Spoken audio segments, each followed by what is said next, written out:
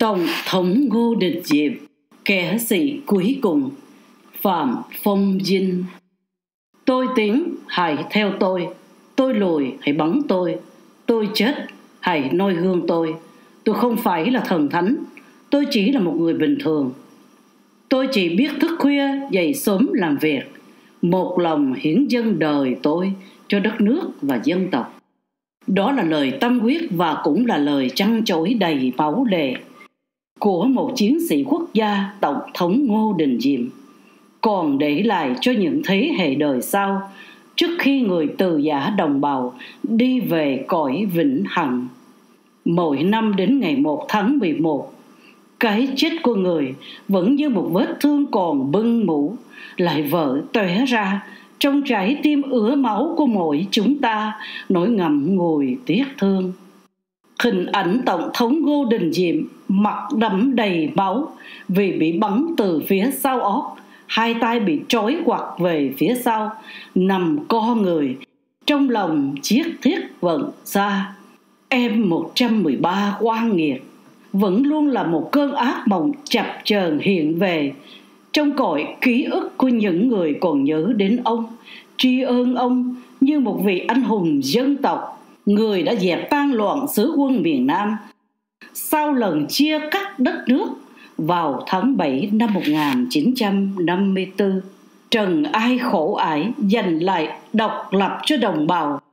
Từ tay thực dân Pháp, chỉ với hai bàn tay trắng cùng một tấm lòng son sắc, ông đã tống khứ được đạo quân viễn chinh 150.000 quân Pháp viễn chinh, vĩnh viễn ra khỏi đất nước Việt Nam. Trên hết tất cả là một con người phi thường, đứng mũi chịu sào, ngăn chống hai mặt trận lớn. Sự kiêu ngạo, ngu xuẩn của bạn đồng minh và sự hung hãn, khát máu của giặc cộng sản. Tổng thống ngô đình diệm có gì trong tay để đối đầu với hai chiến trường nặng đổ đó? Ngay cả lực lượng bảo vệ trong những đầu năm, ông làm tổng thống cũng không có đến nội tổng thống phi lục tân, phải gửi chuyên viên quân sự sang để giúp thành lập và huấn luyện tiểu đoàn phòng vệ, phủ tổng thống hỗ trợ cho người bạn cô đơn của mình. Một căn phòng làm việc nhỏ với một chiếc bàn gỗ cũ, vài cái ghế nghèo nàn để tiếp khách, một chiếc phản không điểm cùng một chiếc mền nhỏ trong một căn phòng ngủ không mái lành chỉ có một chiếc quạt trần, còn gì nữa. Cho những giờ phút thư thả, sau một ngày làm việc căng thẳng, trời ơi, chỉ có một gói thuốc lá đen hiệu bát tô rẻ tiền. Trong chiếc túi áo vải đã sờn, ăn uống thì kham khổ như một nhà tu. Thế còn giấc ngủ hàng đêm, đã được người thu xếp như thế nào? Người đi ngủ thường thường, lúc một giờ khuya và thức dậy lúc 5 giờ sáng ngày hôm sau. Nghĩa là chỉ có 4 tiếng đồng hồ chợp mắt mà chưa hẳn ông đã được ngủ ngon trong bối cảnh một quốc gia hãy còn quá nhiều công việc bề bộn, mà cái nào cũng hết sức cấp bách. Kết quả là sự hy sinh và đức tính khiêm cung cần kiệm ấy.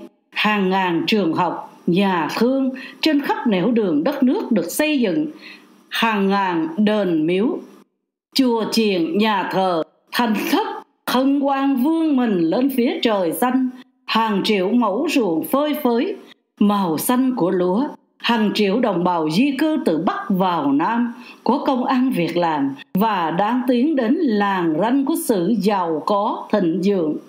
Người đã xây dựng những quân trường tối tân nhất Đông Nam Á để đào tạo nhân tài lãnh đạo và bảo vệ nước Nam.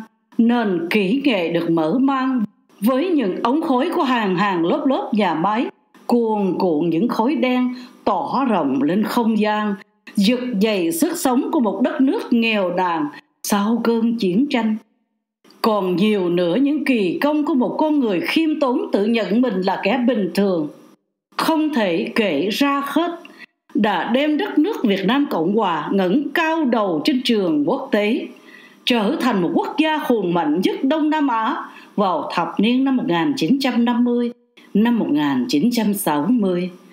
Tất cả những công lao to lớn ấy đã rất hiếm khi được một nhà viết sử thế giới phương Tây và Hoa Kỳ nào liệt kê ra để vinh danh Tổng thống Ngô Đình Diệm.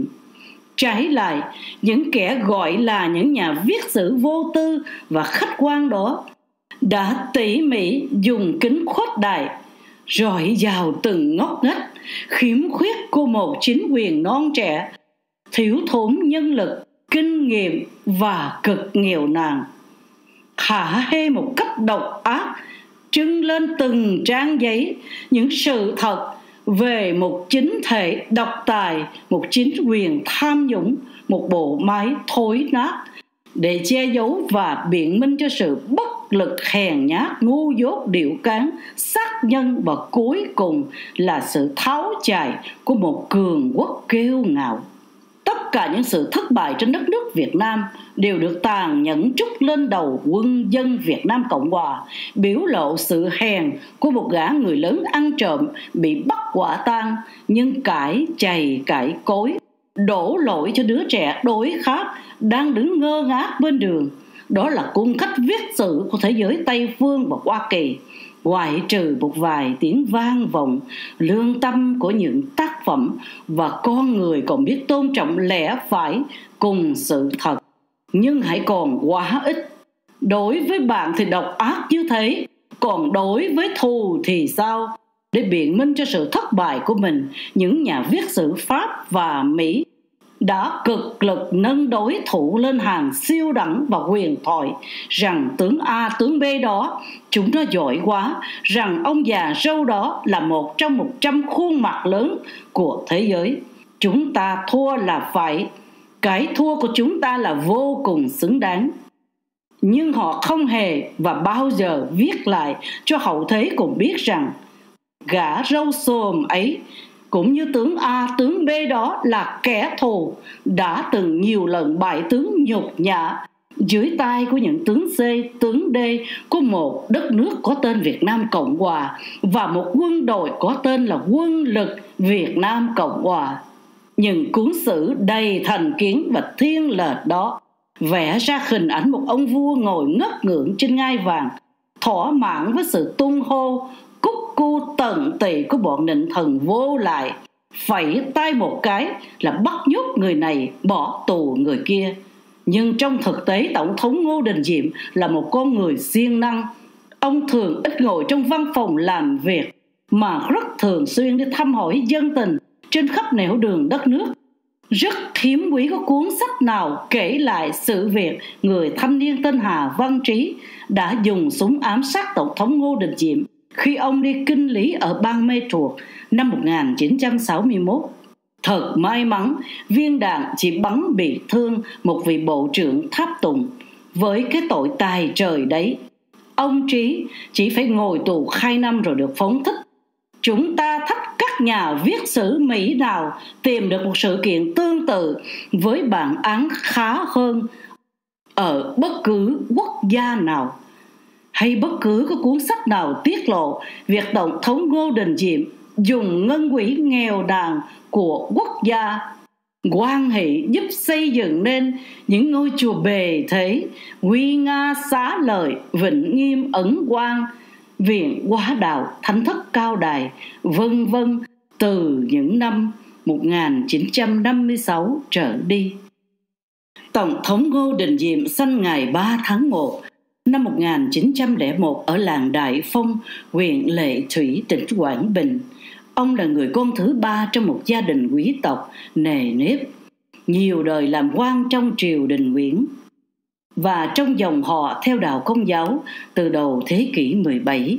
Ông có hai người anh là Ngô Đình Khôi và Ngô Đình Thục và các em trai là Ngô Đình Khải, Ngô Đình Cẩn, Ngô Đình Luyện và hai em gái. Không ít người mang họ Ngô đã là những thánh tử đạo trong những cuộc bắt hại người theo đạo Kitô của triều đình nhà Nguyễn, nhất là dưới thời kỳ vua Minh Mạng. Theo tài liệu của các sử gia Mỹ, ông James X. Austin và Randy Robert trong quyển Where the Domino Fell thì dòng họ nhà Ngô là hậu duệ của Ngô Quyền, người anh hùng nước Nam, đã kiêu dũng giành được nền độc lập cho dân tộc Việt Nam năm 939 từ xâm lược Bắc Vương. Có phải chăng dòng máu anh hùng ấy sau một ngàn năm chảy luân lưu trong nhiều thế hệ định mệnh đã chọn cậu bé Ngô Đình Diệp tiếp nối con đường dựng nước và giữ nước của cha ông là giành lại độc lập từ xâm lược Bắc Phương và Tây Phương. Một công việc cao cả, nhưng nặng quằn như núi Thái Sơn, chất chồng trên vai, đòi hỏi con người ấy phải là một con người kiệt xuất, có ý chí bằng thép và trái tim yêu nước nồng nàn thân phụ của tổng thống ngô đình diệm là cụ ngô đình khả, làm quan triều đình thành thái năm 1889 đến năm 1907 trong những năm 1880 cụ khả được gia đình gửi sang Mã Lai học làm linh mục. Nhưng ở quê nhà đã xảy ra một cuộc náo loạn bắt hại người công giáo của những người theo đạo giáo khác. Gia đình cụ khả gần như bị tuyệt diệt.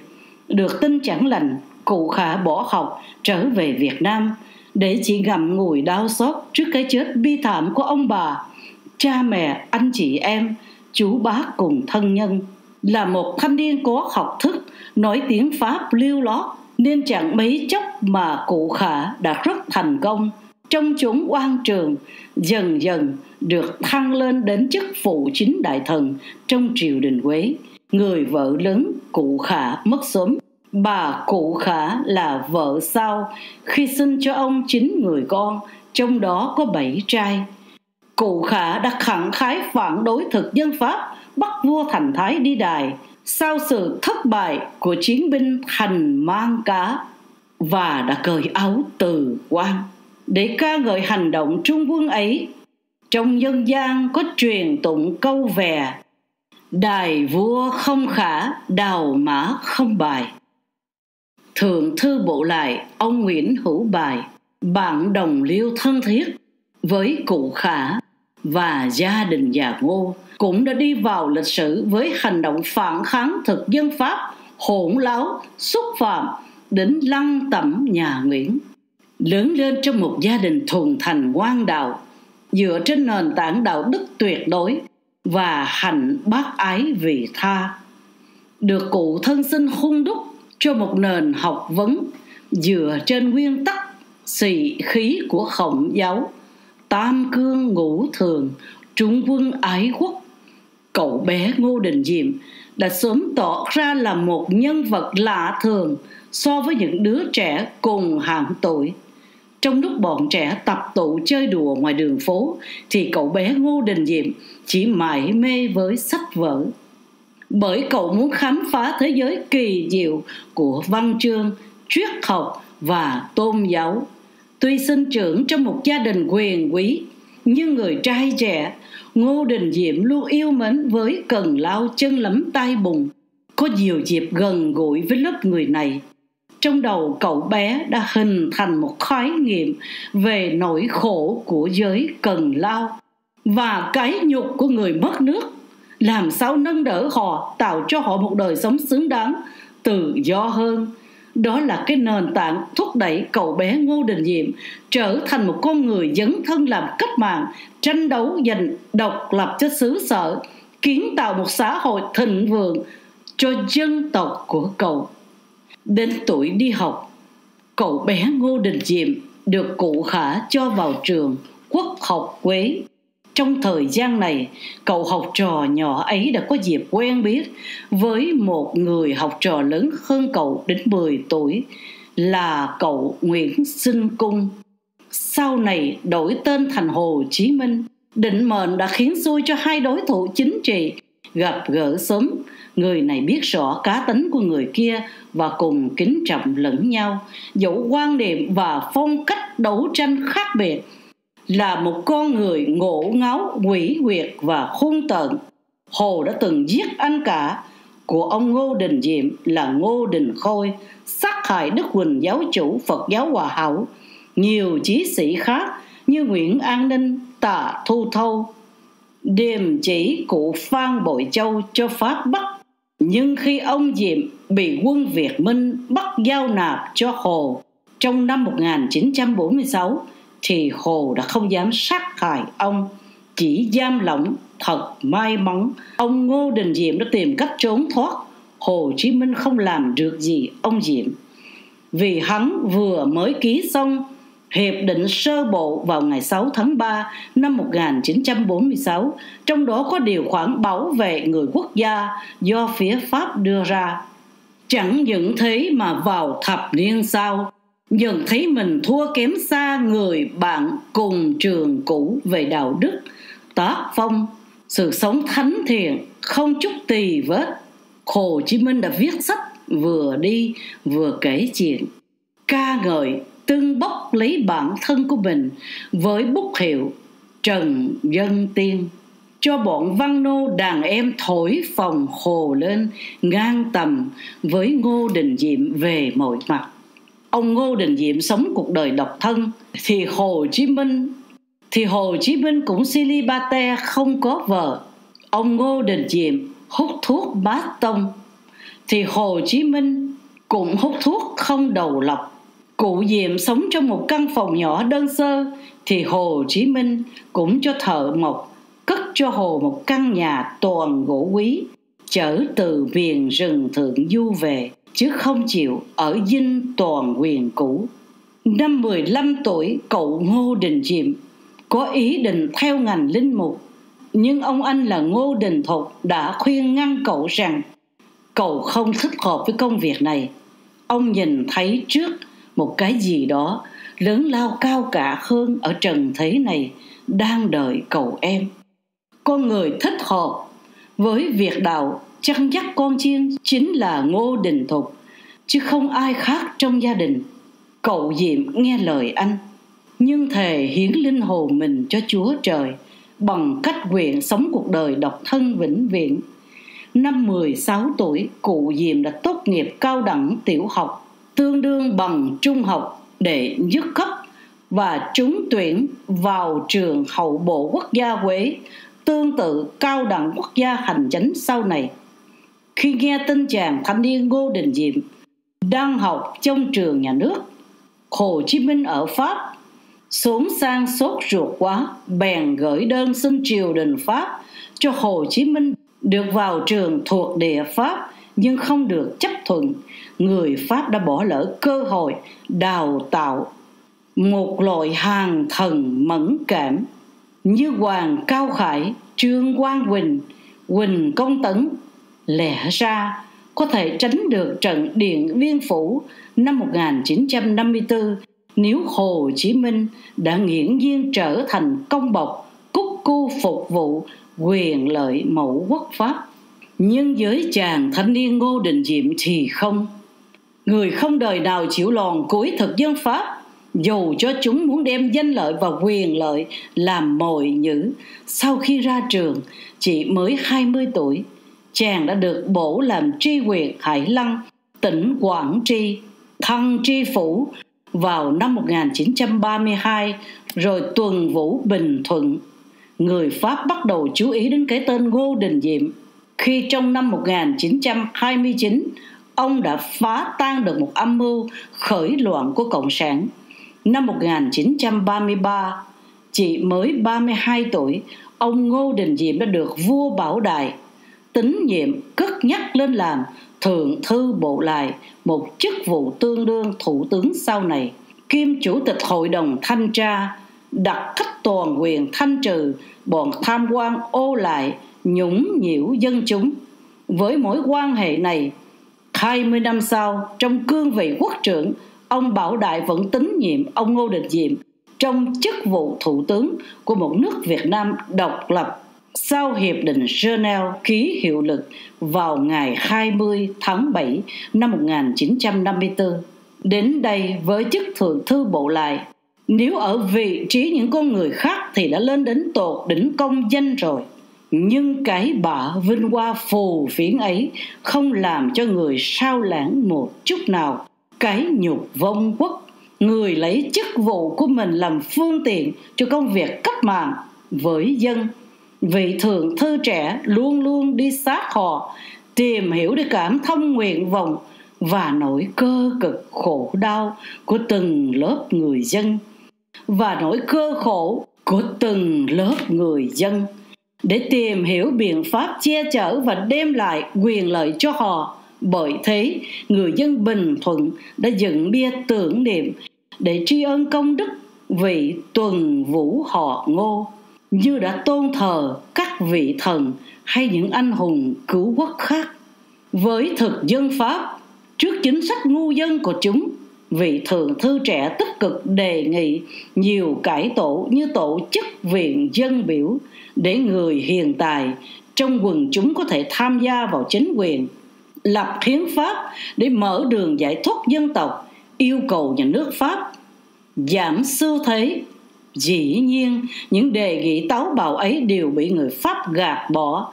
Nhận thấy người pháp không thật tâm trao trả độc lập cho người việt nam, trong khi vua bảo đại cô đơn và bất lực, không xoay chuyển được tình thế, ông ngô đình diệm đã cởi áo từ quan như là một hình thức phản đối và cảnh cáo người pháp biết rằng, một nhà nho nặng lòng với quốc gia như ông không bao giờ có thể chịu nhục vào lòn ra cuối người pháp.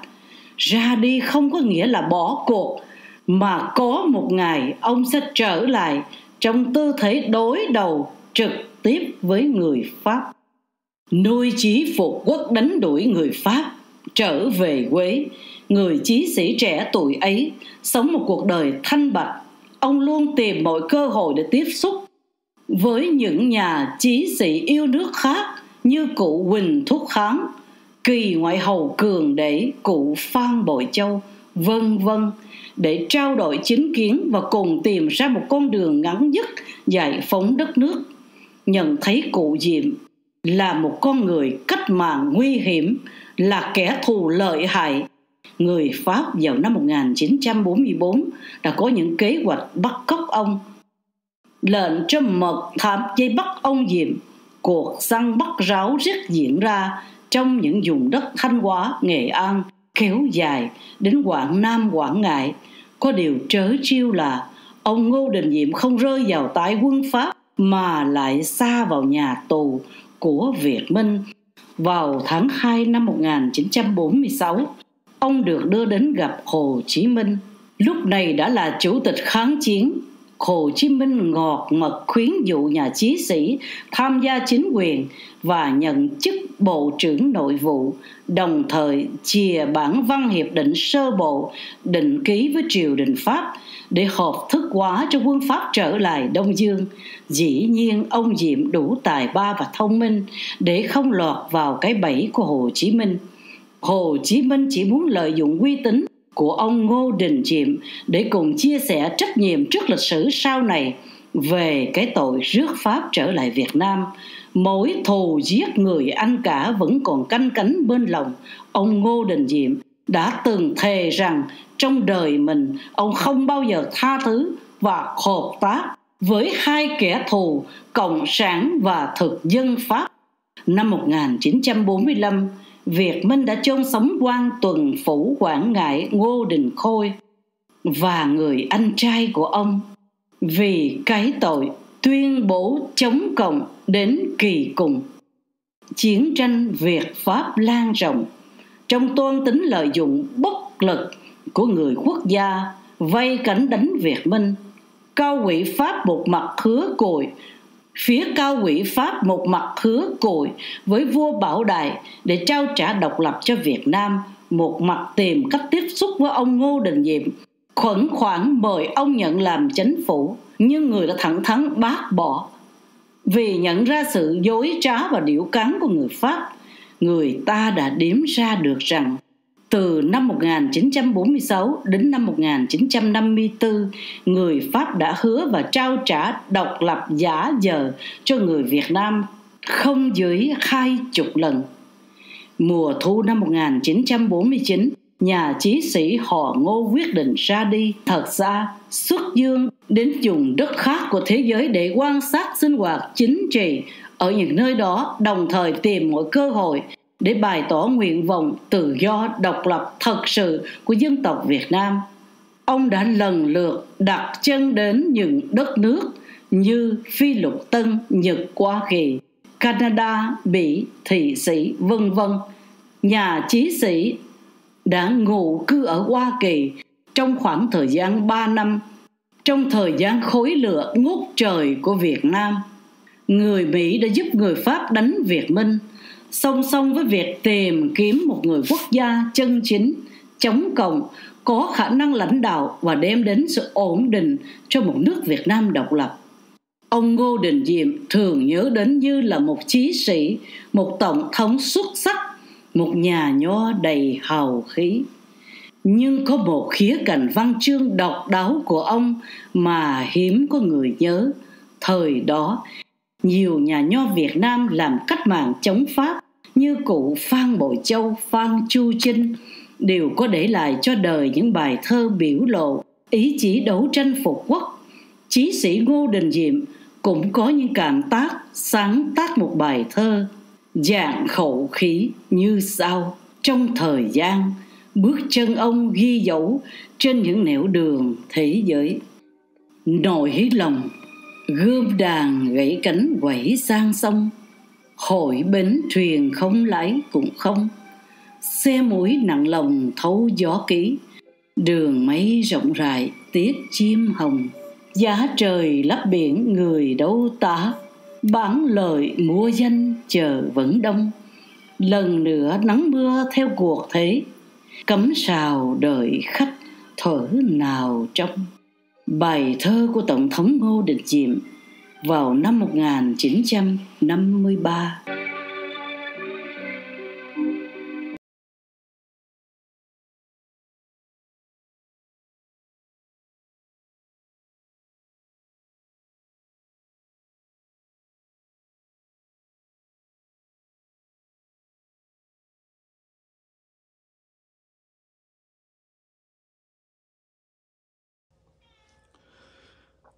Nam mô Bổn sư Thích Ca Mâu Ni Phật.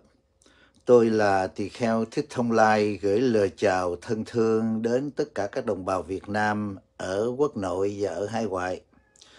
Như à, thường lệ, nếu tôi có thời gian rảnh rỗi, tôi sẽ dành một chút thời gian để trả lời những cái email của tất cả Phật tử cũng như đồng bào Việt Nam ở khắp nơi gửi về cho tôi.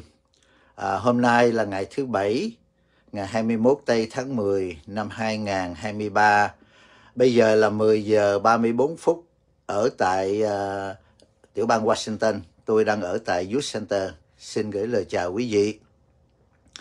Tôi trước khi tôi đi vào cái đề tài trả lời cái những cái email câu hỏi thì tôi nói rõ tôi là lãnh đạo tinh thần Phật giáo có một cái hệ thống Phật giáo tại Hoa Kỳ và có rất đông đệ tử ở Nam Châu cũng như ở khắp nơi thế giới cả ở Việt Nam.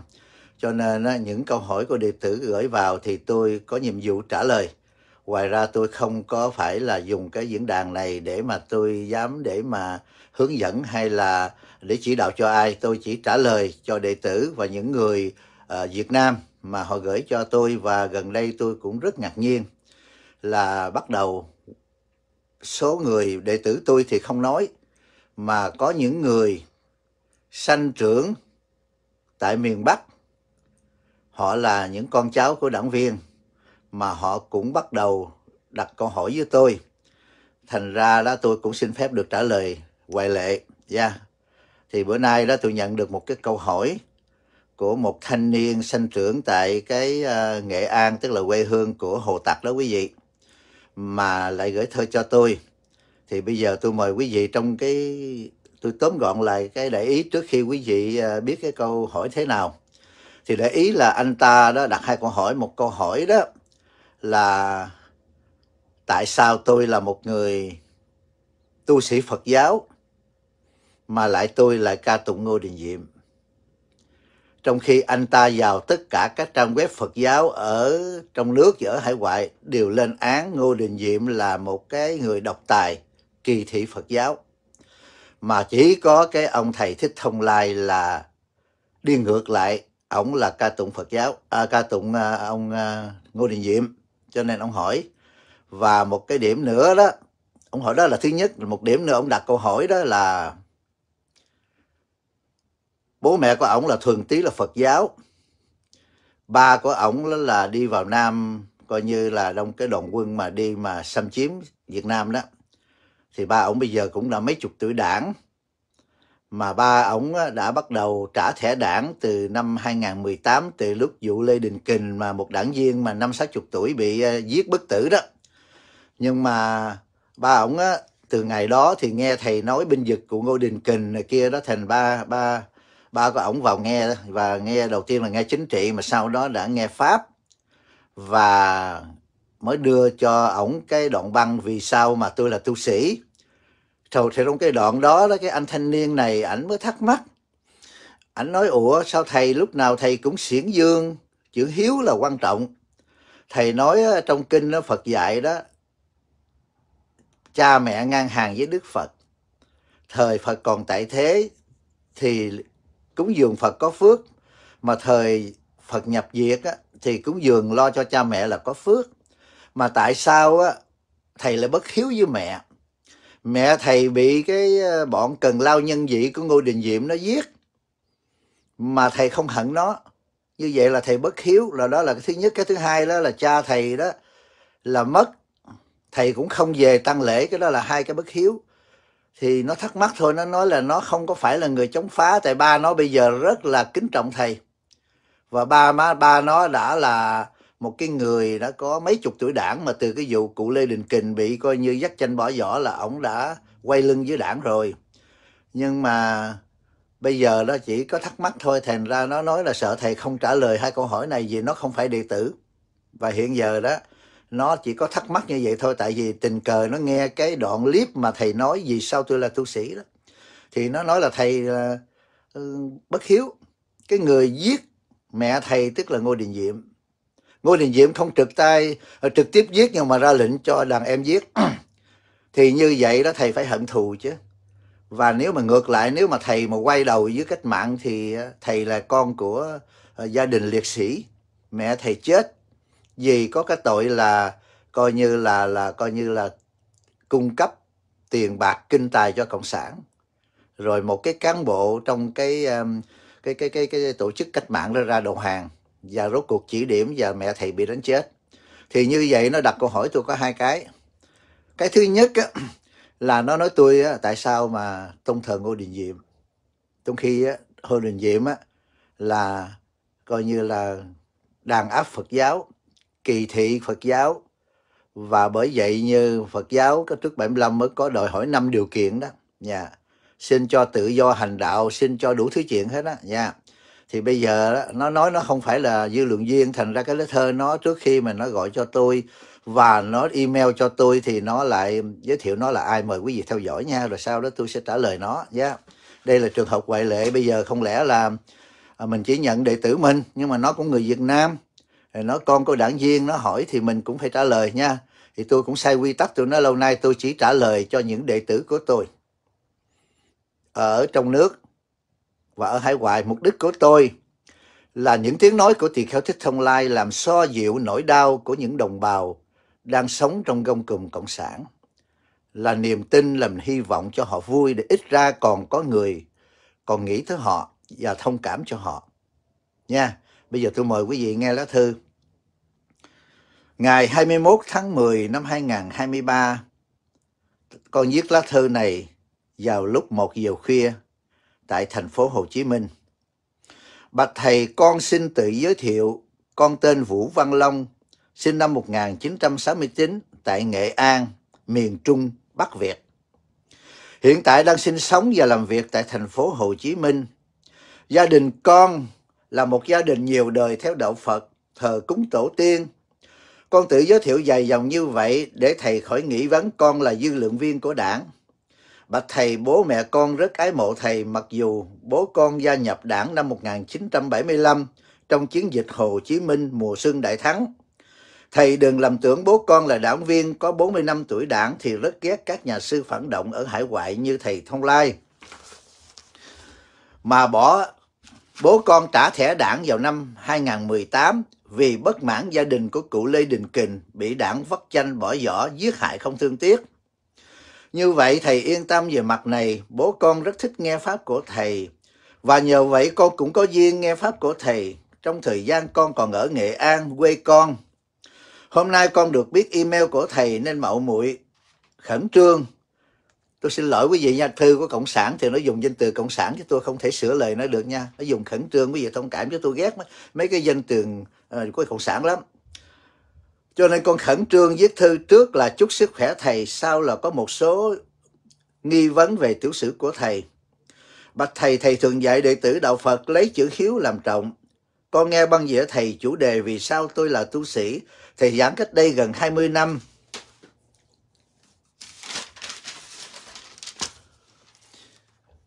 Và con biết mẹ thầy bị quỷ quyền Ngô Đình Diệm giết chết.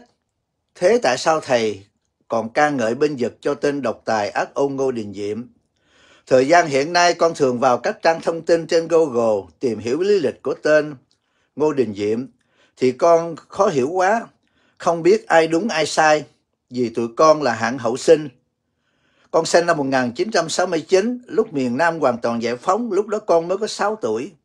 Cho nên con muốn tìm hiểu sự thật, lịch sử của cuộc chiến Việt Nam, các lãnh tụ của miền Bắc cũng như miền Nam các trang web của các linh mục công giáo thì không ngớt ca tụng tên Ngô Đình Diệm. Còn các trang web của Phật giáo thì lên án kỳ thị Phật giáo, hủy diệt Phật giáo, đàn áp vị Phật giáo.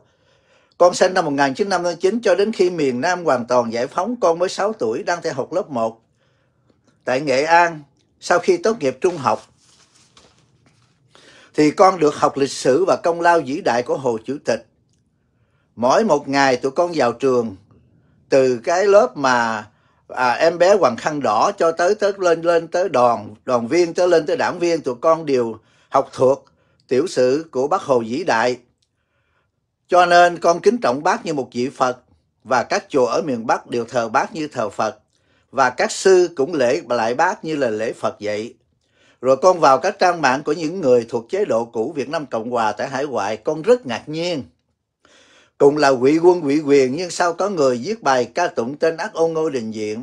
Và có người lại quyền rủa tên Ngô Đình Diệm, hoàn toàn không nhất trí như các đảng viên Cộng sản Việt Nam. Ai ai cũng kính bác Hồ như cha, như mẹ. Tụi con là những đứa trẻ sanh sao đẻ muộn, muốn tìm hiểu lịch sử.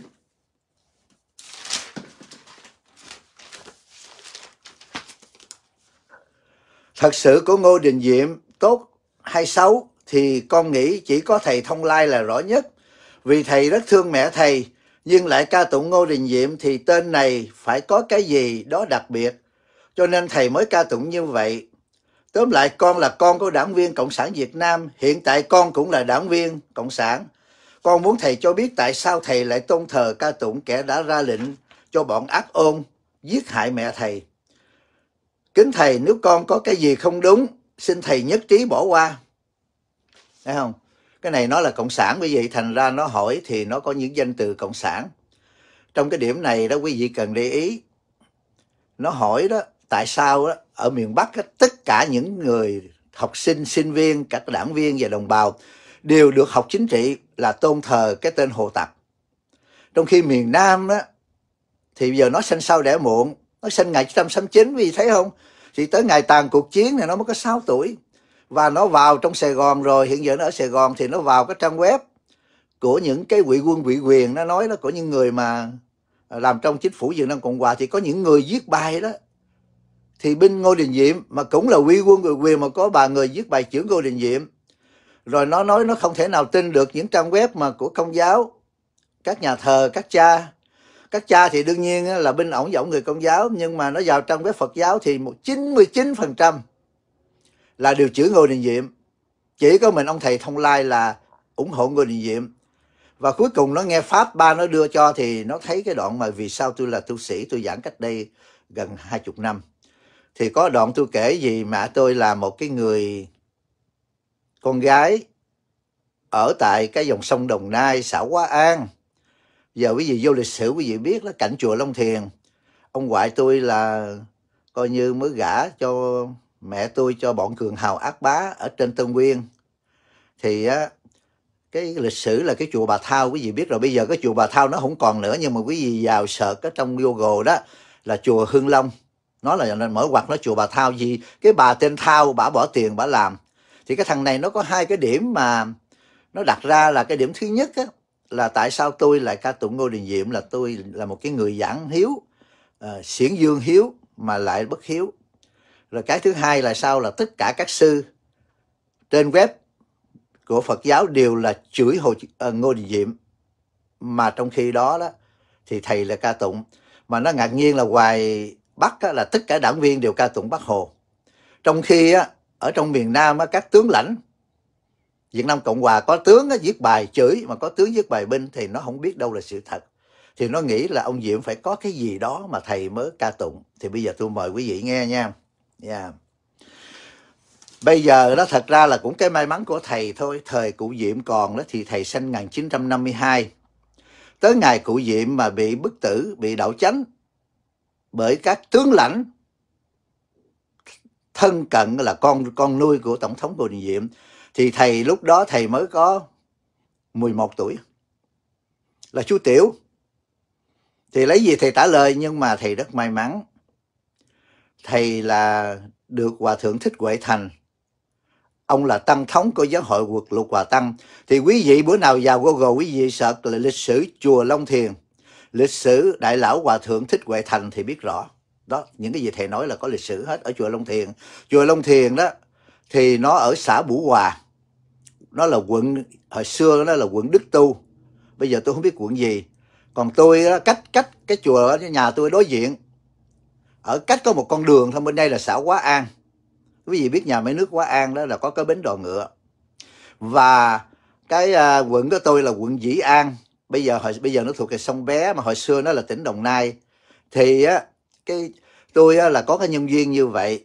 Thì bây giờ đó thì nếu mà tôi trả lời quá rành về lịch sử tại sao tôi chống cộng đó mà ủng hộ Ngô Đình Diệm á, thì người ta nói tôi lúc đó mới là thằng bé tôi sinh 1952 mà lúc mà 63 tôi mới 11 tuổi thì làm gì mà biết nhận nhưng mà tôi may mắn tôi làm chú tiểu. Rót nước cho hòa thượng Huệ Thành tiếp khách. Cho nên á, thỉnh thoảng á, ông Mai Thọ Truyền ông Mai Thọ Truyền là một quốc vụ khanh của Việt Nam Cộng Hòa. Ông là một bộ trưởng của thời Ngô Định Diệm và tới thời Nguyễn Văn Thiệu đệ nhị Cộng Hòa ông cũng là một bộ trưởng. Cái chức vụ quốc vụ khanh á, là nó tương đương với bộ trưởng cho nên ông là một cái người cư sĩ mà rất giỏi về Phật pháp. Ông thường giảng đạo ở cái chùa Xá Lợi ở Sài Gòn. Ông có cái pháp danh là chánh trí. À, mà ông là cái người giảng được kinh diệu pháp liên hoa cho nên tôi có thể nói ông trình độ Phật pháp ông rất quyên thâm. Mà thời đó các đại lão hòa thượng đều kính trọng ông vì ông là một cái người giảng kinh diệu pháp liên hoa tại chùa Xá Lợi hàng tuần. Đó. Rồi thỉnh thoảng ông lên tên Biên Hòa để ông thăm và Thượng Huệ Thành thì tôi là cái người nghe ông nói. Thì ông lên ông vận động, ông nói là ông biết Hòa Thượng Huệ Thành á là có thân tình với Hòa Thượng Trí Tấn ở chùa Bà Thao, tức là bây giờ là chùa Hưng Long. Cho nên á, chùa Hưng Long bây giờ quý vị vô Google search là nó nằm ở trên Tân Nguyên đó. Là cái chùa mà cái chỗ đó là cái ổ mà nuôi diệt Cộng đó quý vị. Cái chỗ đó là cái chỗ mà cung cấp. Dạy về quý vị nhớ Tân Nguyên ngày xưa nó thuộc về chiến khu D. Tức là cái vùng ban ngày là quốc gia mà ban đêm là cộng sản. Cho nên nó mẹ tôi là một sư cô mà không phải đi tu vì giác ngộ được cuộc đời vô thường, mà đi tu để mà tránh một cuộc hôn nhân do ông ngoại tôi ép gả cho một tên cường hào ác bá để đổi lấy một cái mẫu đất ruộng hương quả. Nha, trên đường rước dâu đó, từ ở xã Quá An thì phải đi qua chỗ nhà tôi phải đi lên đi theo uh, lên coi như là tới cái uh, xã Tân Hạnh. Rồi đi một đoạn nữa tới xã Tân Ba. Rồi đi một đoạn nữa là tới Tân Nguyên. Thì lúc đó đó bà rước dâu bằng xe ngựa. Và cái tên mà nó cường hào ác bá đó nó là ông tổng ông huyện gì tôi nhỏ tôi không có biết. Thời pháp mà thời diệm mà cho nên nó, nó là ông tổng. Nó kêu là hồi xưa nó có ờ, chính quyền thời ngô đình diệm nó có ông ông xã ông ấp và ông tổng.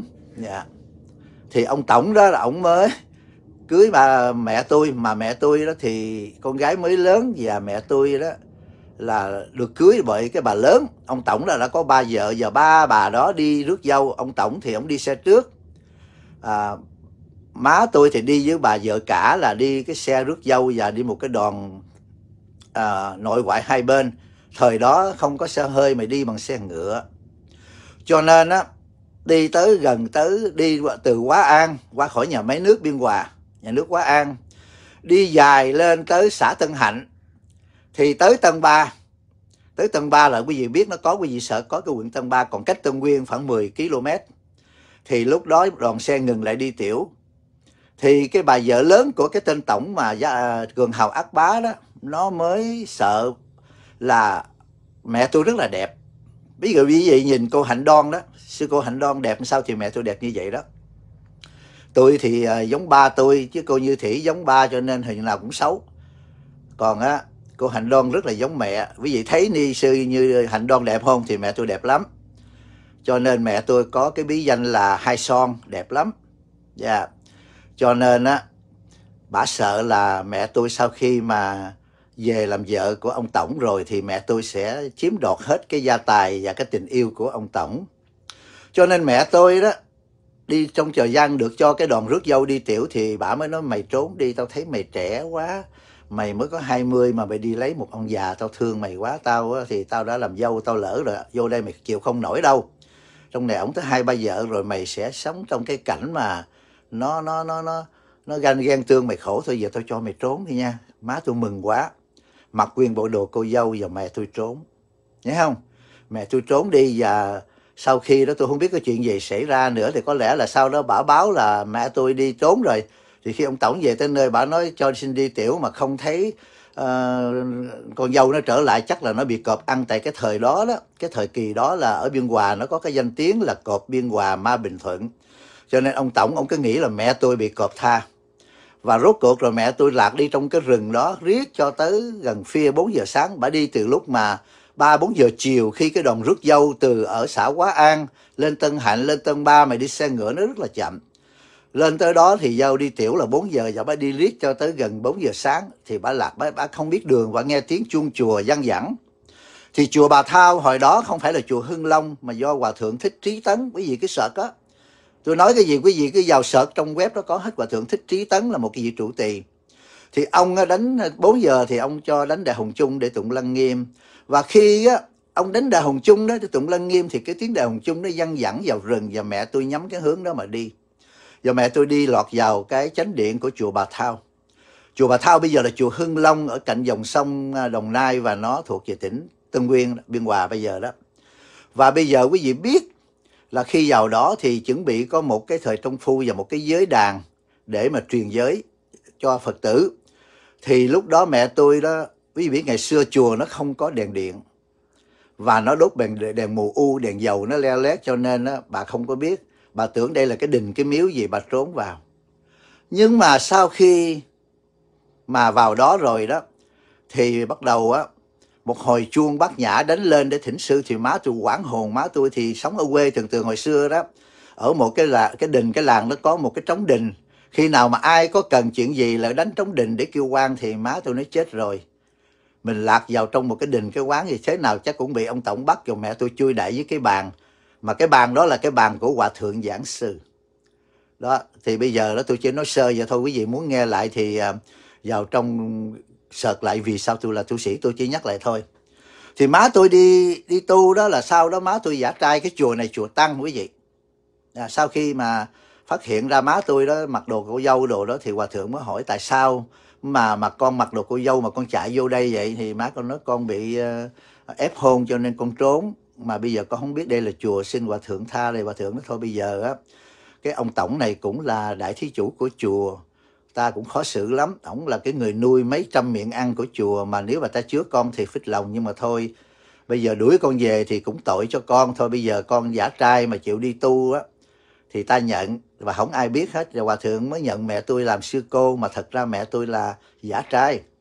Cho nên khi mà ba tôi đó là một tu sĩ bạn của hòa thượng trí quang ở phật học viện bảo quốc, mà ông vào trong sài gòn đó, lúc đó là chiến tranh diệt pháp bùng nổ và à, ông Lê Đình Thám thành lập cái Phật viện Bảo Quốc thì ba tôi đó là bạn học với Hòa Thượng Thích Trí Quang.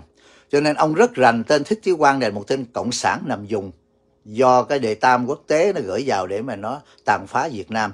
Cho nên tôi nhờ cái đó mà tôi mới ghét tôi ghét cái tụi mà mà mà Phật giáo ân quan là như vậy đó cho nên á tôi á ba tôi ổng đi từ ngoài hay khi mà ổng không có tiền á lúc đó là trong lê đình thám ổng cho ba tôi 100 là một uh, tiền đông dương tôi không biết tiền gì đó để mà đi làm chi phí để vào nam theo cái đoàn tàu xe lửa để mà vào trong này để mà tu đó gì nó giải tán cái Phật viện Bảo Quốc trong chiến tranh diệt Pháp. Thì ba tôi lại nhớ quê nội để mà về từ giả. Ông nội bà nội tôi ở tại Do Linh Quảng Trị đó. Cho nên trên đường đi bộ về đó thì ờ, ba tôi là coi như thăm ông nội bà nội xong ra đó thì ờ, từ trong Do Linh ra tới Đông Hà thì ba tôi bị móc bóp và bị mất tiền, cho nên không có tiền mà chuyến tàu hỏa nó cũng đã, cái đoàn tăng đoàn đã vào trong Sài Gòn rồi, cho nên ba tôi không có tiền, ba tôi phải đi bộ. Đi bộ từ ở bà Đông Hà mà đi riết vào tới trong biên hòa đó quý vị, đi tới đâu thì ông xin ăn tới đó và ông có cái nghề tay trái là coi bói, cho nên ông coi bói trên đường và ông có phật tử cúng dường. Ông đi riết tới cái vùng chiến khu D đó thì ông bị tay nó bố và ông không có giấy tờ kêu là giấy thế thân hay giấy gì đó cho nên ông Việt bắt đánh gần chết. Và rốt cuộc rồi đó, người ta mới khiêng cái ba tôi, ông dục vô cái chùa bà thao. Và má tôi lúc đó là người nữ duy nhất là lo vấn đề mà thuốc men mà ba tôi hoàn toàn không biết má tôi là người nữ. Cho nên trị bệnh xong thì lúc đó má tôi mới khởi tình yêu với ba tôi. Và ba tôi vì trả ơn mà phải xả giới ra đời. Cho nên mới có tôi, có sư ni sư như thủy, có cô hạnh phượng và cô hạnh đoan. Tôi tóm gặt vậy thôi cho nên tôi trở lại cái vấn đề là cái chùa này là cái chùa mà nó chuyên môn là ban ngày là quốc gia ban đêm là chiến khu D là cộng sản cho nên ban đêm á, tụi Việt Cộng kinh tài ra nó đóng thế Hòa thượng Trí Tấn không có thể nào mà dám đưa trực tiếp sợ sau này liên lụy. Cho nên hòa thượng giao mẹ tôi là người nữ mỗi ngày phải cung cấp bao nhiêu gạo bao nhiêu đồ ăn và tiền cúng dường từ thùng phước xương cho tụi kinh tài cộng sản ở trong chiến khu D. Một ngày nọ thì nó ra nó hồi chánh thì lúc nó ra nó hồi chánh thì mẹ tôi cũng đã là ra đời rồi. Mẹ tôi đã về trở lại cái miếng, miếng đất mà ngày xưa mà ông ngoại gả mẹ tôi đó là cho được hương quả của ông tổng đó. Để mà sống cạnh chùa Long Thiền đó. Thì khi nó ra nó hồi chánh nó về chùa ở Bà Thao nó tìm mẹ tôi nó bắt. Nó hội chánh tức là thời Ngô Đình Diệm có những cái chương trình chiêu hồi đó rồi nó ra nó bịch bao bố rồi nó về nó nhận diện người nào à, nuôi dấu cán bộ người nào là à, cộng sản nằm dùng thì nó vô nó kiếm bắt mẹ tôi không có mẹ tôi đã ra đời. Thì ờ, mới chỉ về đó là giờ đã về lập gia đình ở tại cái ờ, xã Hóa An và nó cho à, lính của Ngô Đình Diệm cho là bắt. Và tôi đó hồi đó tôi nhỏ tôi nhớ là có một người trùm cái bao bố và đi rất đông với những người mặc áo đen. Thì tôi chỉ biết là lính bảo an nghe nói lính bảo an và lính của cần lao nhân vị về bắt thôi lúc đó tôi nhỏ. Dạ. yeah và lúc đó là ba tôi đang tụng kinh trong chùa Long Thiền, cho ba tôi thoát nạn, còn má tôi bắt đánh và nó nó rút móng tay, nó đập mã tôi, nó khai, nó biểu khai coi những người nào mà hồi đó biết má tôi không khai và nó rút hết 10 ngón tay 10 ngón chân của mẹ tôi và sau đó nó đưa vào chùa và nó đánh chết mấy ngày sau thì nó trả xác về. Đó là tôi một coi từ lúc tôi 9 tuổi. Cho nên á, nó nói cái nãy cái thằng bé mà ở nghệ an này đó, nói thằng bé cho bây giờ tôi nghĩ nó cũng là mấy chục tuổi rồi nó nói tại sao tôi là bên ngôi đình diệm? Ngôi đình diệm có gì tốt? Thưa cậu tôi thưa cậu để cậu nghe kỹ đây. Người xuất gia thì lấy cha mẹ chúng sanh nhiều đời là cha chỉ tôi có hàng ngàn hàng triệu bà mẹ. Trong đó đó bây giờ dân Việt Nam 100 triệu thì 50 triệu, 50 triệu bà già mà lớn tuổi bằng mẹ tôi đó thì là mẹ của tôi. 50 ông già bằng tuổi cha tôi là cha tôi. Cho nên tôi bỏ cái tình yêu cá nhân của một người thế gian, mà tôi nhận cái đại gia đình là dân tộc Việt Nam là cha là mẹ của tôi. Cho nên tôi không có bất hiếu mà tôi đại hiếu đó quý vị. Cho nên cái ngày xuất gia là có cái bàn, là bắt cha mẹ tôi lúc đó là hòa thượng kiến châu, và để mẹ tôi chết thì để cái hình của mẹ tôi. Và hòa thượng huệ thành nói, con xin lại mẹ ba lại, mang tội bất hiếu. Kể từ ngày hôm nay con dùng thân của mẹ để mà coi tất cả chúng sanh người nữ lớn tuổi là mẹ của con coi tất cả chúng sanh lớn tuổi người nam là cha của con. Cho nên cậu đừng có nói tôi bất hiếu mà tôi là đại hiếu đó quý vị. Tôi bây giờ lo cho hết bà già này tới bà già khác. Và lý do ngô đình diệm có cái gì tốt thì tôi nói cho cậu nghe. Cậu đừng có tin những cái uh, những cái bài viết mà của những cái tên mà nó đảo chánh cậu vô đó những trong web và những cái tên mà nằm trong mà hội đồng quân nhân cách mạng của đệ nhất cộng hòa đó. Những tên tô thất đính nè những cái tên là trần thiện khiêm nè những cái tên đó đều là những cái tên ăn cơm của tổng thống diệm mà coi như đâm sau lưng ngài. À, mà ông cũng đừng vào những cái trang web của của trang nhà quảng đức hay là những cái trang web mà của hệ thống phật giáo mà coi như là ấn quang mà kể phật giáo thống nhất cũng vậy đó. Nó bây giờ là cộng sản nằm hết rồi. Mà ông nghe tôi nói kỹ đây. Tôi á hồi nhỏ tôi là chú tiểu mỗi lần tôi ra tôi rót trà cho ông cụ mai ờ, chánh ờ, ông cụ mai ờ, mai thọ truyền á, nói chuyện với hòa thượng huệ thành, tôi đều ghi hết. Thì tôi nhớ lúc đó hòa thượng mới nói, con nên ghi nhớ để sau này hòa thượng lớn rồi con làm trụ trì của chùa long thiền. Thì con phải mang ơn đệ nhất tổng thống việt nam cộng hòa nguyễn ngô đình diệm. Ông nói lấy viết là ghi, bây giờ tôi cũng còn nhớ rõ nè, trí nhớ tôi, hồi đó tôi có một trí nhớ là tôi ghi lại hồi hôm này, tôi nhớ lại lúc đó là hòa thượng dặn ông ngô đình diệm có những cái gì mà sau này con phải là suy tôn, nhớ không có chạy theo cái bọn nhất hạnh, cái bọn trí quan. Cái bọn đó là cái bọn mà coi như ăn cơm quốc gia thượng ma cộng sản. Tôi may mắn quý vị sợ cơ hòa thượng huệ thành tôi là xuất thân từ người miền nam, người gia định. Cho nên là tôi tôi lọt vào tay cái ông thầy miền trung là tôi trở thành ra là coi như sư quốc danh là tội đồ của dân tộc đó quý vị. Bây giờ nghe này tôi ghi lại, tôi dùng cái trí nhớ của tôi tôi ghi lại những điểm mà ngô đình diệm tốt do cuộc nói chuyện của hòa thượng thích huệ thành với ông mai chánh tín mai thọ truyền nghe đây điều tốt thứ nhất của cố tổng thống ngô đình diệm thứ nhất đón nhận và định cư cho một triệu đồng bào miền bắc di cư vào nam tị nạn cộng sản à Điều theo Công ước Hiệp định Geneva ký ngày 20 tháng 7 năm 1954, à, tức là ông cho một triệu đồng bào mà lúc đó mới nghèo lắm, Việt Nam Cộng Hòa, đệ nhất Cộng Hòa nghèo lắm. Ông định cư cho một triệu người. Thứ hai, thành lập khu trù mật giúp đỡ một triệu đồng bào công giáo có cuộc sống ổn định tại miền Nam. Khi mà một triệu người vào miền Nam, những khu trù mật này gồm có gì? Những khu Hố Nai, khu Bùi Chu Gia Kiệm, à, khu chợ ông Tạ. Những khu đó là đồng bằng, quan phế, mà dưới sự yểm trợ của Tổng thống Ngô Đình Diệm, những khu Hố Nai, những khu Gia Kiệm, những cái khu mà chợ ông Tạ, sau này trở thành là những khu trù mật và tất cả đồng bào miền Bắc từ cuộc mà di cư vào Nam không có một đồng bạc, chỉ có bộ đồ rách rưới mà sau này họ trở thành ra những người trung lưu giàu có đến nỗi những người miền Nam phải ganh tị. Đó là công ơn thứ hai của Tổng thống Ngô Đình Diệm. Thứ ba, công ơn Tổng thống Ngô Đình Diệm là giáo dục miễn phí, y tế miễn phí qua chương trình nhà thương thí. Tôi nhớ rõ, hồi xưa tụi này bệnh á, là đi vô nhà thương thí ở tại Biên Hòa. Đi qua xong, lên trò tỉnh tưởng, đi lên một chút là quẹo ra vô, là coi như gặp nhà thương thí là khám miễn phí, thuốc men đầy đủ.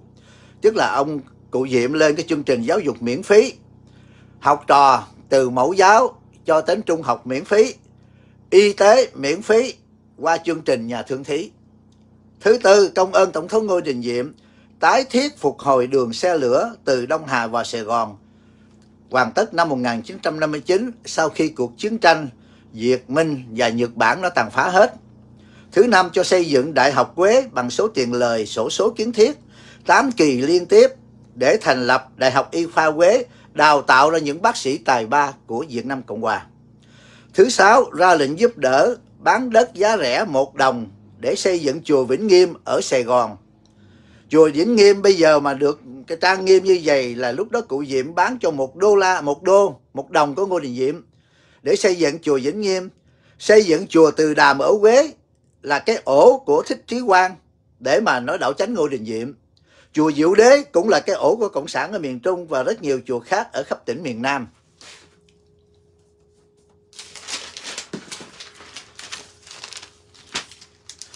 Điều thứ bảy, khai trương xa lộ biên hòa và tái thiết quốc lộ 19, nối liền duyên hải miền Trung và cao nguyên Trung Phần. Thứ tám ra lệnh cấm người qua nếu không nhập quốc tịch Việt Nam thì sẽ không được làm ăn tại Việt Nam và bị trục xuất về nước để bảo vệ miền Nam không bị Tàu Cộng đồng hóa. Thứ chín, chính thức phát hành tiền tệ riêng biệt, biểu, biểu, biểu tượng của một quốc gia độc lập, dùng tiếng Việt trên tờ giấy bạc Việt Nam, không dùng chữ Hán như tiền của miền Bắc do tên Hồ Tặc chủ trương lệ thuộc Tàu. Tỷ hỏi giá của một đồng ngô đình diệm à, một đô la đổi được 35 đồng Ngô Đình Diệm. Người thấy tiền Việt Nam Cộng Hòa của thời Ngô Đình Diệm á tức là 35 đồng của cụ Diệm đổi được một đô la Mỹ. Thứ 10 thành lập khu kỹ nghệ Thủ Đức khu kỹ nghệ An Hòa khu kỹ nghệ Nông Sơn nhà máy xi măng Hà Tiên nhà máy chế biến thủy tinh nhà máy điện Đa Nhiêm nhà nhà máy sản xuất giải sợ Vinateco ở Đà Nẵng Vimitech ở Sài Gòn nhà nhà máy sản xuất mỏ than Nông Sơn Thứ 11, thành lập nhiều cô nhi viện, thành lập trại cùi. Thứ 12, thành lập các quán cơm xã hội cho người lao động, học sinh, sinh viên già với giá trợ giúp của chính phủ. Thí dụ bây giờ một tô phở bán ở ngoài 10 đồng thì ông Diệm ông trợ giúp cái tiền để còn bán có 3 đồng. Cho kêu là quán cơm xã hội đó. Mà hồi đó tôi gia đình nghèo cho nên khi tôi còn học đó là tôi thỉnh thoảng tôi cũng lợi vô cái cơm xã hội để mà ăn. Thứ 13 đưa miền Nam Việt Nam thành Hòn Ngọc Viễn Đông đến nỗi Thủ tướng Lý Quang Diệu của Singapore khi qua thăm Sài Gòn phải than thở, Ngô Đình Diệm mới độc lập có 5 năm, mà vượt xa Singapore cả 10 năm, được 80 quốc gia công nhận là hội viên của Liên Hiệp Quốc nhưng mà vì bị phiếu phủ quyết của Liên Xô và Ngô Đình Diệm là hội viên của Quỹ tiền tệ quốc tế. Đồng tiền của Việt Nam Cộng Hòa lúc đó được 80 quốc gia công nhận chứ không phải như cái tiền của Cộng sản. Thứ 14 đề ra một đạo lực khá đặc biệt là luật bảo vệ gia đình và luật bảo vệ luân lý thường phong mỹ tục của người Việt Nam. Cái luật này đó, thời đó tôi được ông Mai Thọ Triền nói, khi mà một người vợ mà ngoại tình thì sẽ bị như thế nào, một người chồng bạc đãi vợ sẽ bị như thế nào? Khi mà một người công dân đi ra đường thấy một cái xe tang đi ngang mà không có dở mũ cúi đầu là coi như người đó cũng sẽ bị coi là cái thành phần vô học. Khi đến trường học một cái người hiệu trưởng hay thầy giáo bước vào trường tất cả học trò phải đứng lên nghiêm nghị để mà chào đón. Và cái vấn đề mà luật bảo vệ gia đình lực bảo vệ cái tình thầy trò và tình vợ chồng là bảo vệ thường phong mỹ tục của người Việt Nam. Đó là lực ngôn diệm như vậy quý vị thấy, không phải cái tài liệu này nữa mà theo cái cuốn sách. Thì cuốn sách là Ao Việt Nam Nightmare. Đây của một người sử học người Mỹ, viết thời Ngô Đình Diệm. Là cái bà này đó, là một cái người Mỹ. Bà đó, bà viết cái cuốn sách Ao Việt Nam Nightmare. Bà là một sử học gia người Mỹ. Bà viết thời Ngô Đình Diệm bà thống kê có 1.275 ngôi chùa được cấp phép xây dựng 1.295 ngôi chùa được trùng tu với sự trợ giúp của Tổng thống Ngô Đình Diệm. Và theo cụ quốc vụ Khanh Mai Thọ Triền, một danh sử Việt Nam Cộng Hòa, thời Bảo Đại chỉ có 2.206 ngôi chùa tại Việt Nam.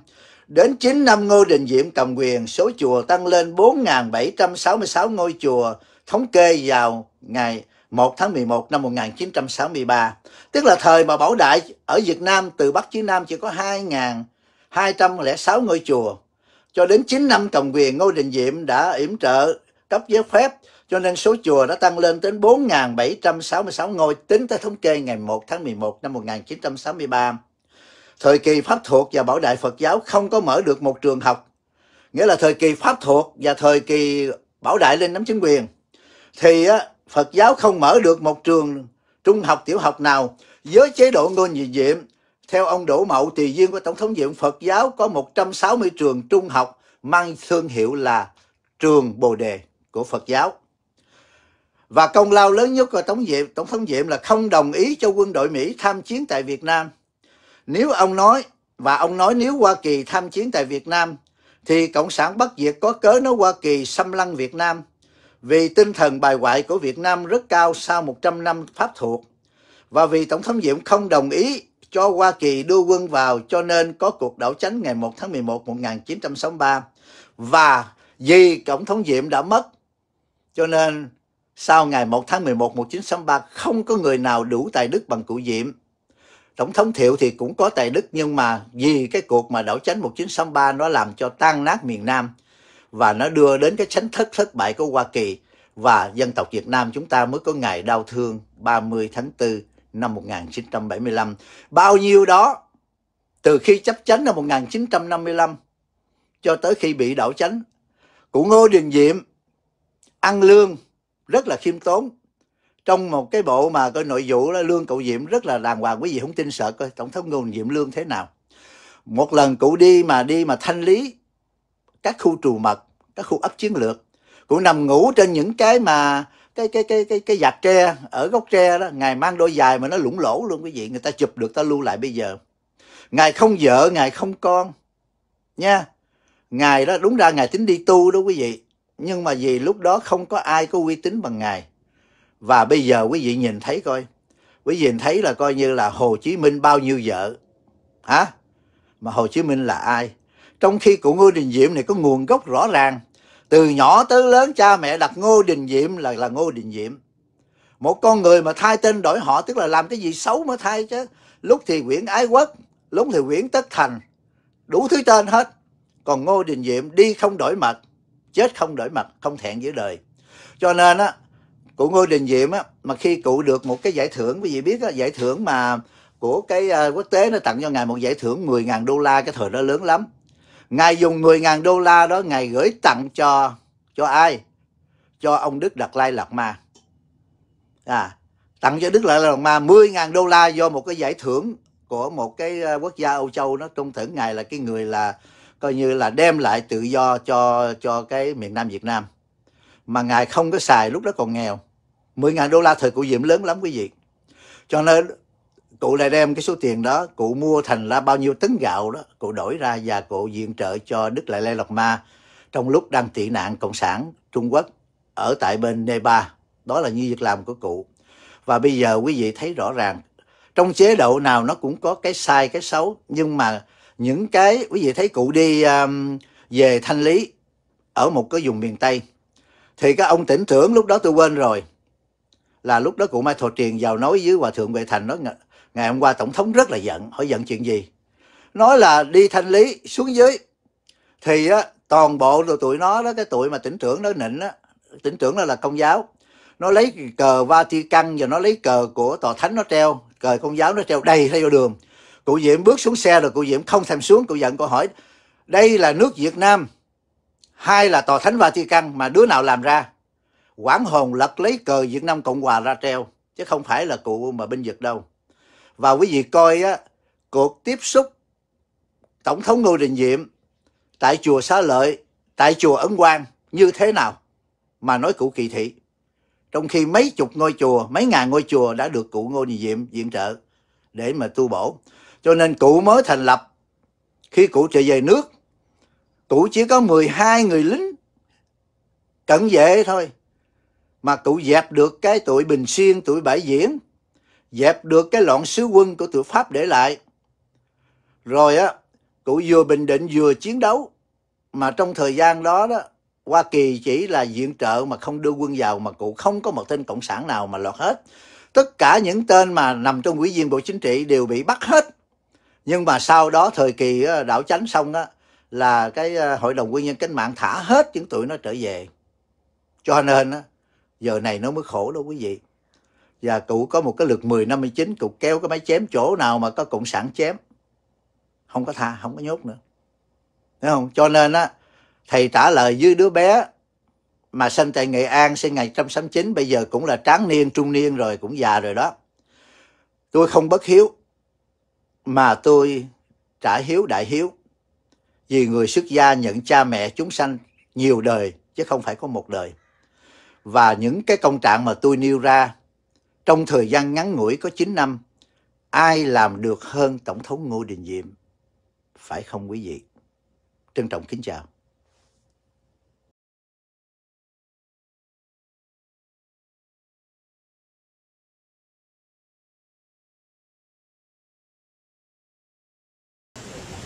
Quý vị thấy rõ hơn tôi.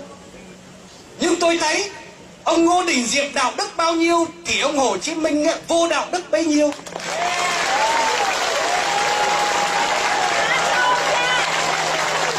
Ông Ngô Đình Diệm Ông sống nếp sống khổ hạnh. Ông sống nếp sống đơn giản. Ông ông biết, Ông sống có trước, có sau. Ông biết kính nhớ tổ tiên. Ông biết để yêu thương đồng loại. Ông biết tha thứ cho kẻ thù. Ông rất nhân từ với kẻ thù. Và ông cũng rất nhân từ với những người chung quanh. Ngay cả chế độ cộng sản bây giờ ghét việt nam cộng hòa là vậy. Nhưng những sách báo của chế độ cộng sản, họ in ra mà bắt chúng tôi phải học. Tôi cũng không thấy một sách nào của việt nam cộng sản mà dám đưa được những bằng chứng và những nhân chứng công khai nói rằng nói rằng ông ngô đình diệm có một biểu hiện nào vô đạo đức không? Đố thấy sách vở nào kiếm được một bằng chứng nào nói ông ngô đình diệm có cái hành vi hay là lời nói mà vô đạo đức? Đang khi đó những người chung quanh ông hồ chí minh ở miền bắc, những lãnh tụ cộng sản ở miền bắc, đến một đến bây giờ rất nhiều người kể ra vô vàn vô số những việc làm vô đạo đức của ông hồ chí minh ông không dám nhận vợ ông ông không dám nhận con ông ông không kính viếng tổ tiên ông. Ông lừa thầy, ông phản bạn ông giết ân nhân của ông. Cái đó ai cũng biết.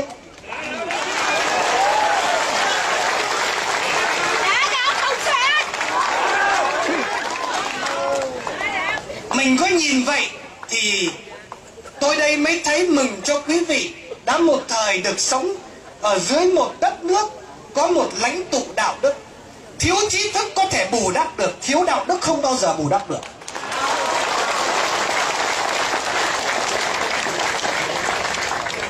Chân tôi mừng cho quý vị đã được sống trong cái thời đấy với vị lãnh tụ của mình như vậy.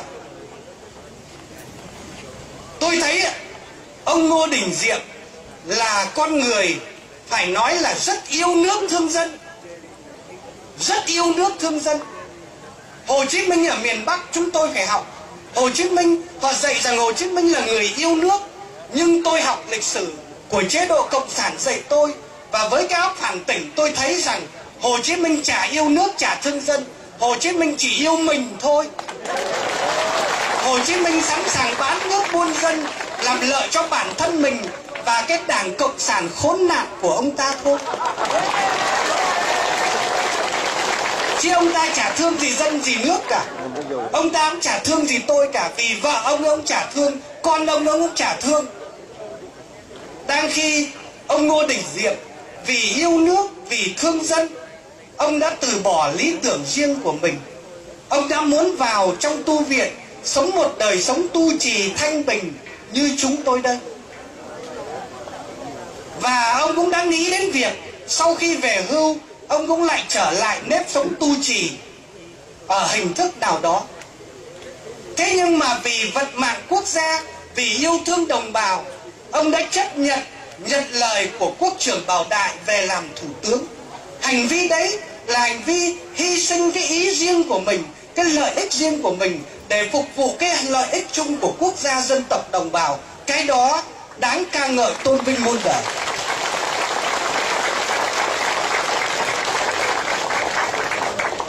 Rồi vì yêu nước thương dân, ông đã làm mọi cái để cho đất nước được thịnh vượng, đời sống người dân được hạnh phúc. Các bài diễn văn chúng ta vừa nghe thì thấy. Chúng ta thấy ông ngô đình diệm phải nói là người biết làm cho dân giàu nước mạnh, phải nói là người đã làm cho quốc gia được thịnh vượng. Việt Nam Cộng Hòa dưới thời ông Ngô Đình Diệm mình. Cái này là sự thật lịch sử, ai cũng phải nhìn nhận. Dưới thời ông Ngô Đình Diệm, Việt Nam Cộng Hòa là một trong vài quốc gia phát triển nhất ở Đông Á và người dân có đời sống vật chất cao nhất. Nói như tiếng bây giờ là có tổng thu nhập quốc dân tính theo đầu người cao nhất. Và thủ đô của Việt Nam Cộng Hòa là được nói là hòn ngọc của Viễn Đông có thủ đô nào ở Á Đông lúc đó được như vậy không? Bằng những chính sách kinh tế của ông như cải cách tiền điện cấp đất cho dân nghèo, bằng cái chính sách kinh tế phát triển tư hữu của ông, khuyến khích thương mại, khuyến khích phát triển thương mại công nghiệp của ông, và Việt Nam Cộng Hòa lúc đó no ấm thế nào? Bao nhiêu năm chiến tranh trước đó, ít nhất là 9 năm chiến tranh trước đó, đã làm cho đời sống vật chất của người dân Việt Nam suy tàn và khốn khổ với thời ông Diệm, kinh tế Việt Nam Cộng Hòa cất cánh bay lên, người dân đấm no hạnh phúc. Đang khi đó chúng tôi ở miền Bắc Cộng sản, ông Hồ Chí Minh có biết làm kinh tế không? Ông Hồ Chí Minh với chính sách cải cách ruộng đất, với chính sách cải tạo công thương nghiệp, với chính sách hợp tác xã nông nghiệp, ông biến miền bắc chúng tôi đang là một cái quê hương gọi là tốt đẹp trước đó bây giờ dù đã bị chiến tranh tàn phá thì cũng vẫn tốt đẹp dưới thời quốc gia. Ấy thế mà từ năm năm tư khi ông Hồ Chí Minh và đảng cướp của ông ta về, thì miền Bắc chúng tôi, miền Bắc chúng tôi với chính sách cải tạo công thương nghiệp, với chính sách hợp tác xã, nông nghiệp, với chính sách cải cách ruộng đất, miền Bắc chúng tôi trở thành một địa ngục trần gian, người dân đói khổ lầm than, không kể xiết. Ông Hồ Chí Minh đâu có biết làm kinh tế đâu có biết làm kinh tế.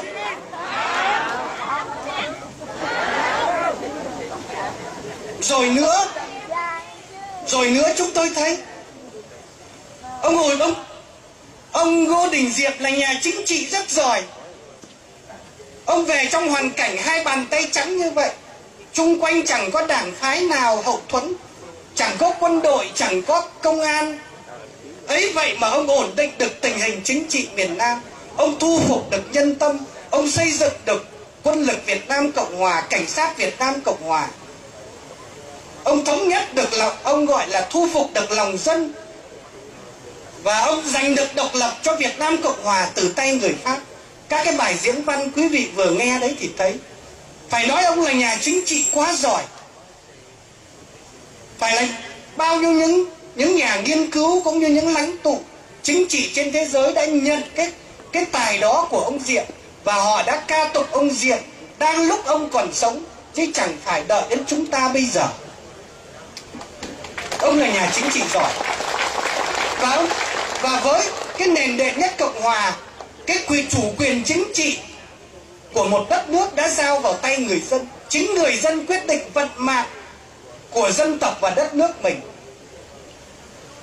Bây giờ lịch sử việt nam mấy ngàn năm hỏi rằng có thời nào người dân được tự do nhất? Hỏi có thời nào mà cái chủ, người dân nó thể hiện được cái quyền của mình nhiều nhất? Hỏi có thời nào mà người dân kinh nghiệm về sự tự do nhất? Khi người ta sống ở giữa trần thế này, thì thưa đấy là thời Việt Nam Cộng Hòa do ông Diệm xây dựng.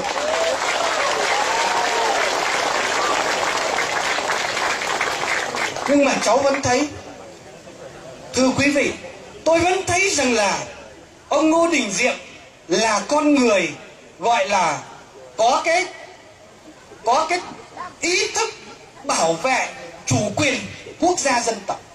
Cái đó là cái rất cao với ông diệm và tôi yêu mến ông vì lẽ đó. Ông có ý thức bảo vệ chủ quyền quốc gia dân tộc. Ông có tinh thần gọi là tự lập tự cường. Ông có tinh thần tự lập tự cường. Có ý thức bảo vệ chủ quyền quốc gia dân tộc. Hồ chí minh không biết vậy hồ chí minh lãnh tụ của chúng tôi ở miền bắc không biết vậy. Phải nói là hồ chí minh là rất là ngu dại.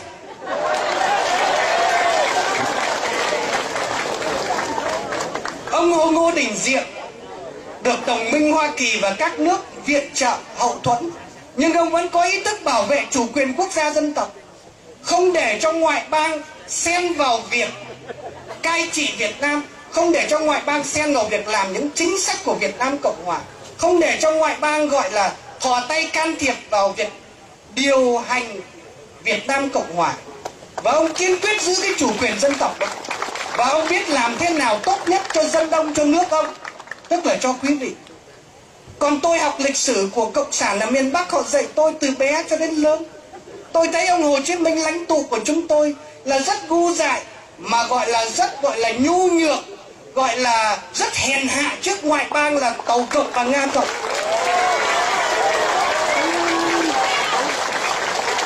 nga cộng với tàu cộng nó nó viện trợ cho một tí thì nịch nó hơn nịch bố, thờ nó hơn thờ bố. Rồi kính nó không hơn là kính bố. Ông ngô đình diệm làm mọi cách để bảo vệ chủ quyền quốc gia dân tộc, bảo vệ dân sự quốc gia dân tộc, bảo vệ cái lãnh thổ Việt Nam Cộng Hòa bao nhiêu? Thì cái ông Hồ Chí Minh ấy, vì một tí viện viện trợ của cầu cộng Nga cộng vì một chút cơm thừa canh cặn ông ấy sẵn sàng bán hết cả chủ quyền quốc gia dân tộc cho cộng sản. Ông ấy bán ông ấy bán nước ông ấy buôn dân. Mà bằng chứng bây giờ nó sờ sờ ra đấy cháu khỏi nói các bác cũng biết.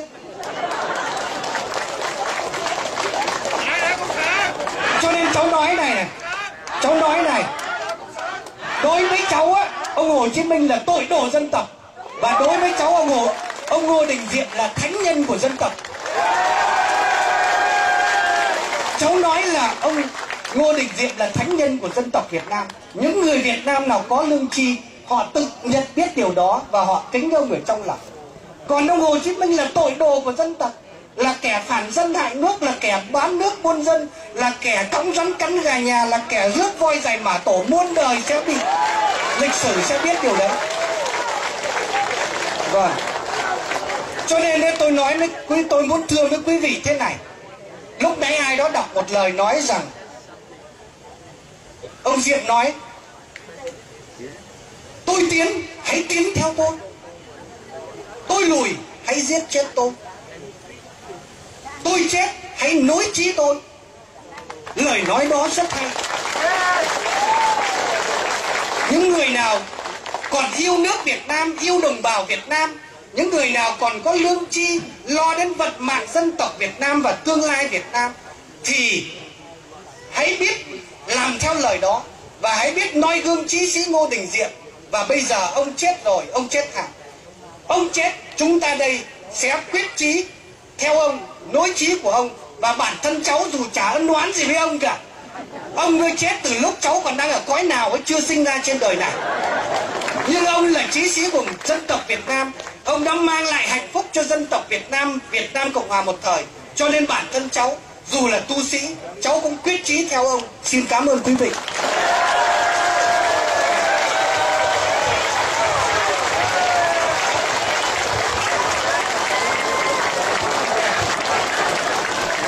Ladies and gentlemen, uh, it was a very touching uh, speech of uh, Reverend.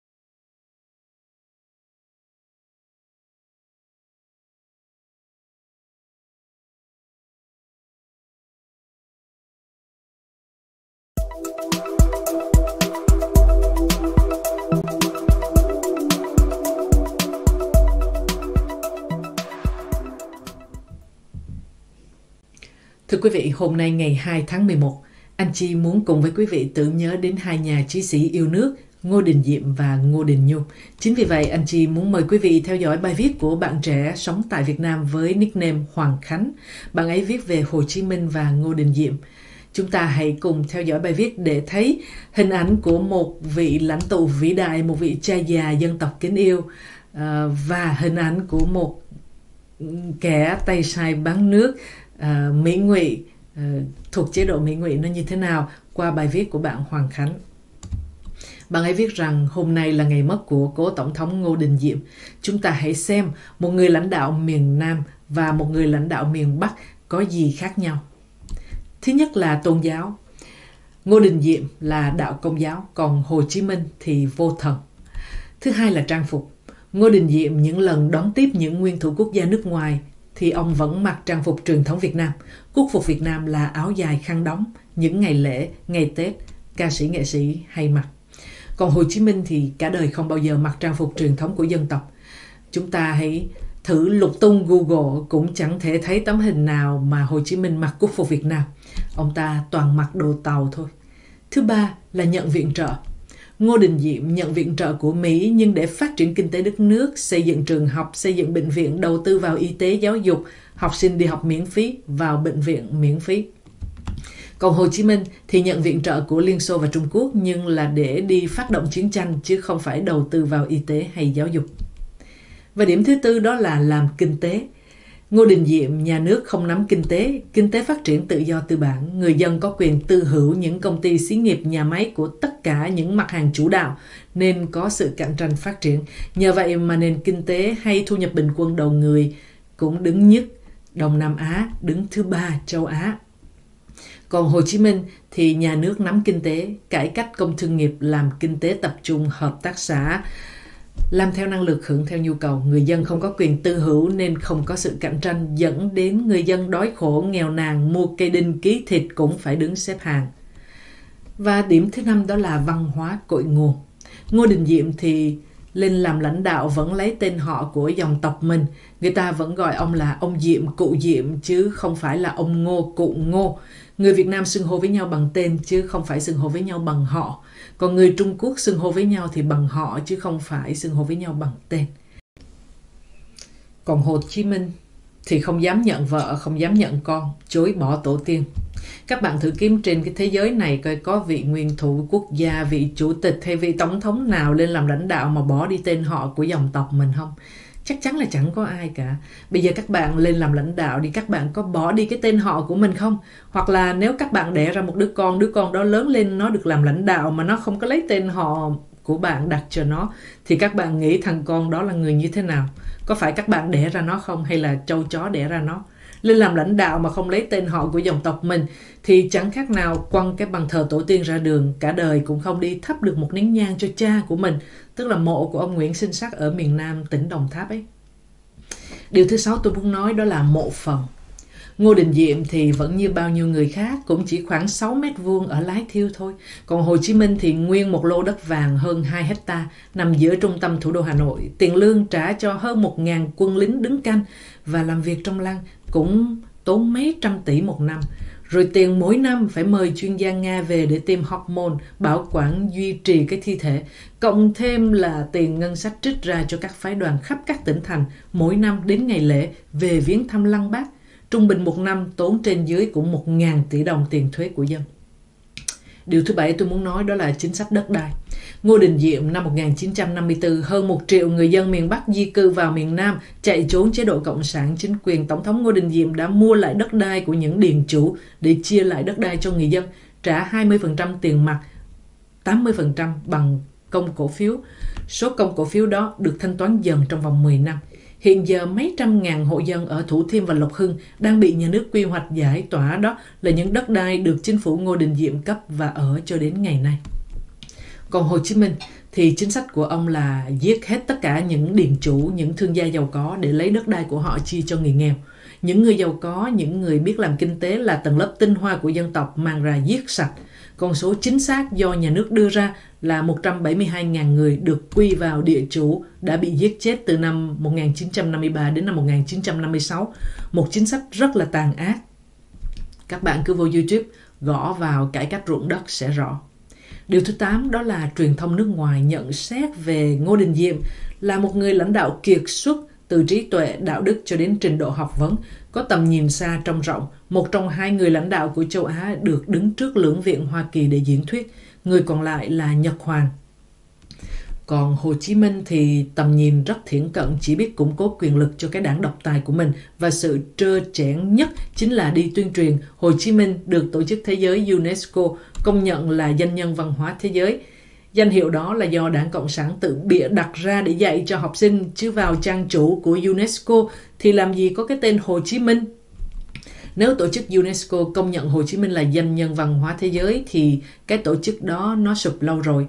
Chẳng những không được vinh danh là danh nhân văn hóa thế giới, mà ngược lại Hồ Chí Minh còn được xếp vào một trong 13 người lãnh đạo tàn ác, diệt chủng nhân loại. Cứ vô Google gõ vào 13 lãnh đạo diệt chủng nhân loại hoặc sự thật về Hồ Chí Minh, thì các bạn sẽ rõ thôi.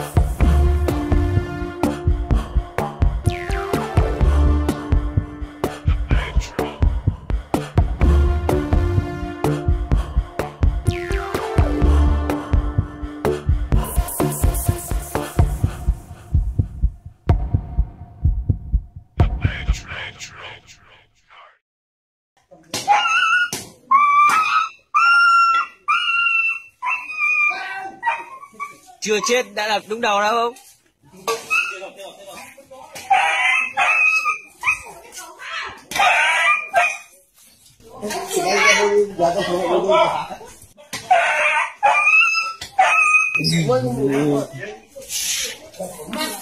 Đấy, rồi rồi, kéo đến đó.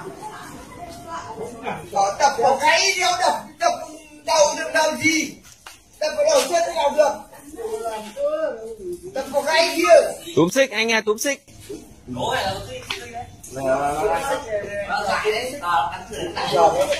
Ông cổng qua chưa?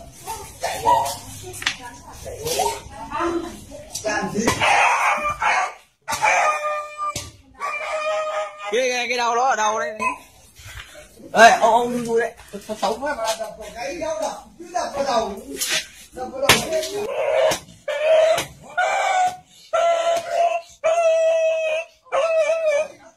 số mày không không chết nhưng mà mày Đập đúng đấy. Đập đúng vào cái đó mãi. Đập bao nhát mà không chết lại cổng nó rồi. chạy rồi chạy rồi chạy rồi Đập chưa? Đập con nhát chết luôn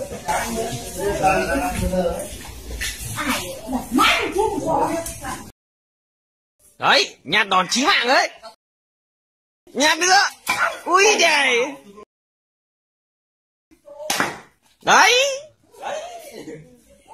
Bác, lúc này giỏi thật. Thôi.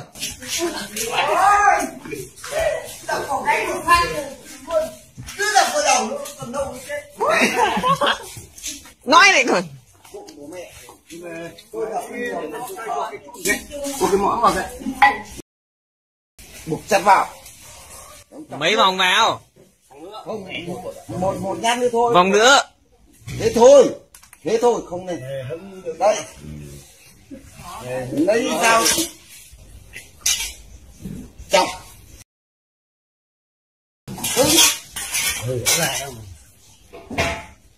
rào củ thế Đéo cắt ra ra thì nó Để cạnh đâm vào cung họng này.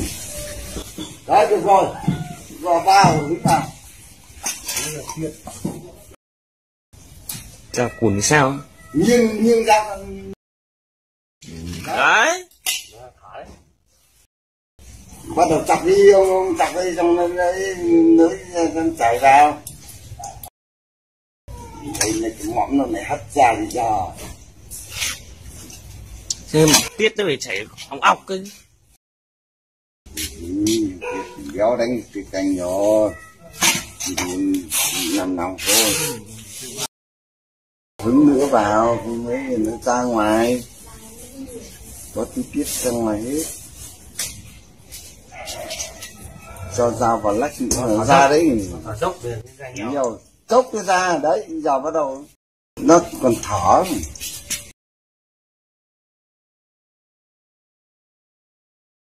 còn thở nó còn thở nó còn thở nó còn thở nó còn thở